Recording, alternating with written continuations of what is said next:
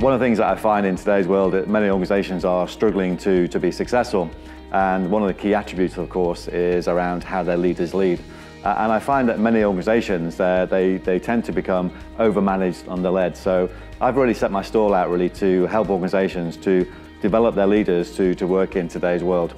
For me, you know, leadership is all about how, how do you as a leader, how do you create a high performance environment where success is inevitable.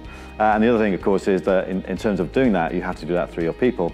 So one of the key attributes of a great leader, in my view, is around you know, how they awaken possibility in people to deliver extraordinary results.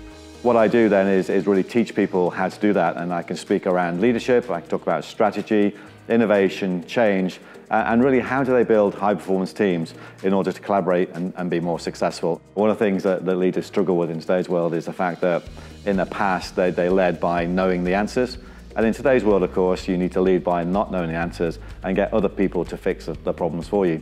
So how you collaborate and how you work with groups is really, really important. So I, work with forward-thinking companies such as Samsung, uh, Specsavers, B&Q, uh, amongst many others. And um, what I do is help them to, to think about leadership, but also how to use practical tools and techniques to be more successful in what they do on a day-to-day -day basis.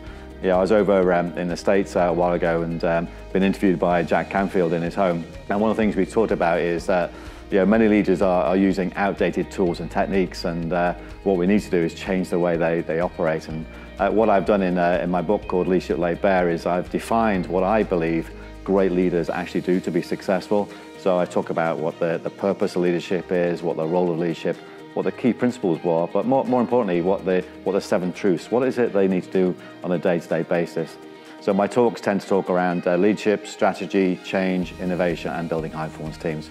And really, ultimately, it's about helping organizations to, to be really more successful and uh, move away from being overmanaged and underled.